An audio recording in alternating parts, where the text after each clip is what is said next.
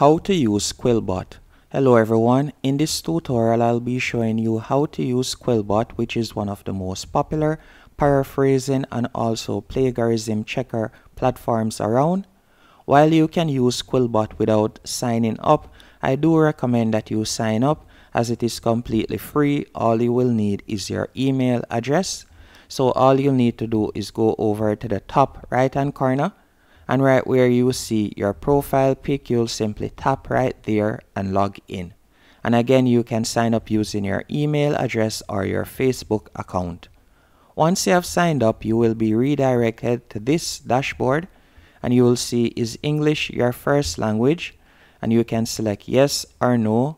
And then from there most of my writing is used for work or school. You can select whichever one as Quillbot is creating a profile for you what is your education level. From there you can also select it right there. Or if you want you could simply tap on skip right here. And once you have tapped on skip you will be redirected to this dashboard. And if you would like to add the Quillbot plugin or extension you can also do that. Or you can tap right here paraphrase on Gmail. You could add it right there. But let's get into the features so the first thing you want to do is go over to the top right hand corner and you are going to see paraphraser. You could tap on that and from here you can see the different languages that you can use. So you have English US, French, Spanish, German or any other language by tapping on all as you can see right here. And also you can decide your mode whether you want it to be standard English, fluent, formal, simple, creative, expand, or shorten. And you can also choose whether you would like to use synonyms or not, as you can see right there. So if you would like a message to be paraphrased, all you would have to do is type it in. So let's say, for example, I type in good morning. Then I'll tap on paraphrase and you can see how it looks right there. Hello and nice morning.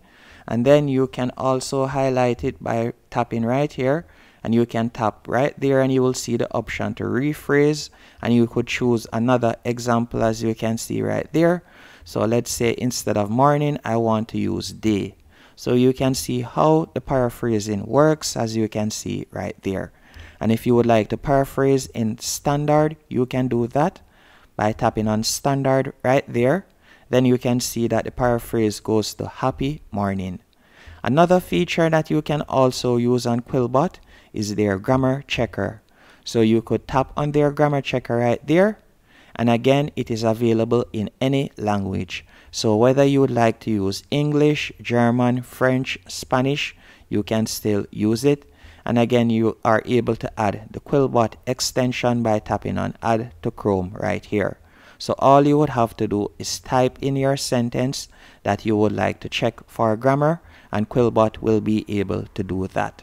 So let's say for example I were to type in how are you doing? Let me do that real quick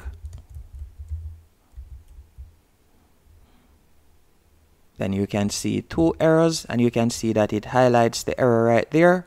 So all I would have to do is hover over it and you can see how to fix it right there. Or I could tap on fix all errors at the bottom of the page right here and it automatically fixes it for me. Another feature on Quillbot is their plagiarism checker. So you could tap on their plagiarism checker right here but to use the plagiarism checker, you would have to sign up to one of their paid plans. So you can see right here, upgrade to get started to use the plagiarism checker as you can see right there. And the plagiarism checker would basically be if you are typing in, if you are using any content from off the internet or so on, and you would like to check if it is plagiarized, you can do that. And the fourth icon right here from the left hand menu option is their co-writer feature. So you could tap on their co-writer feature and you would be redirected to this page right here. And from here, you'll be able to start typing and Quillbot with their AI feature will automatically start helping you as you can see right here. So let's see, start search, start writing or search for content by clicking on research. So let's say you want to start typing. So let me do that real quick. So you can see right here, hello, how are you doing? Let me type something real quick and you can see right here, you can choose whether you would like to paraphrase, summarize, or suggest text. I could tap on suggest text right there and then you can see their AI platform right there. Consider the suggestions below and you can see right there I could choose any one of these all I would have to do is tap on it so hello how are you doing today?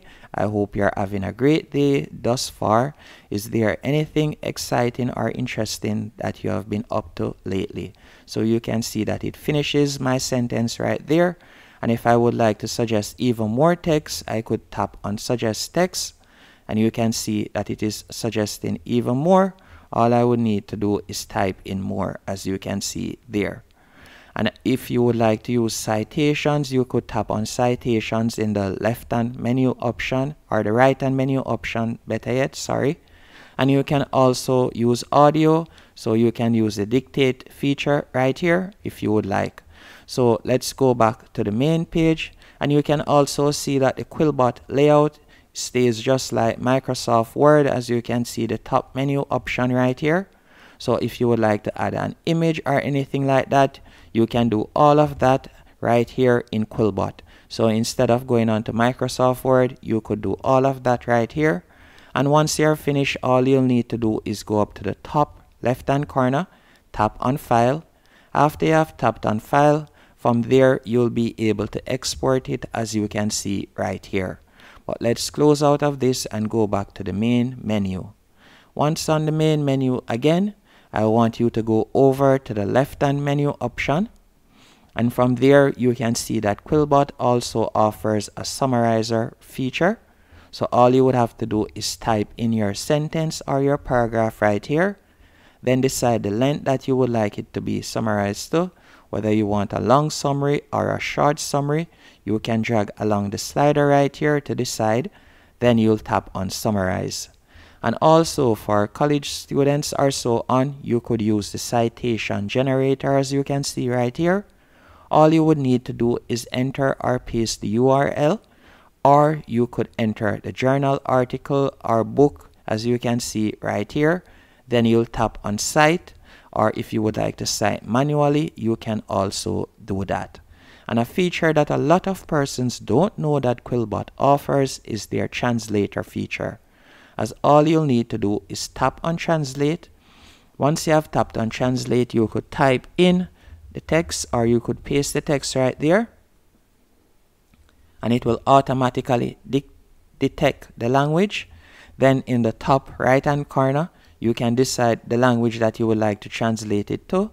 So let's say I would like to translate it to Italian. All I would have to do is tap on Italian and you can see that it has been translated right there.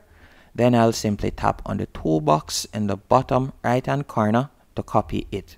And if I would like to translate it to another language, all I would have to do again is tap on the top right where you see Italian then from there, if I want to translate it to Thai, I could tap on that and you can see it right there. And you have the chance to translate up to 5,000 characters as you can see here. So Quillbot is definitely a very handy tool, whether you're just an everyday person or you're a business owner or a worker or a school student. So Quillbot is a very handy tool. It doesn't matter what you do so Quillbot is a very handy tool. Whether you're a student and you would like to use it to plagiarize. So Quillbot is a very handy tool. It doesn't matter whether you want to use it on your job, in the privacy of your home, or at school. So I hope you found this video helpful and informative. If you did, be sure to hit the like button and subscribe and thank you for watching.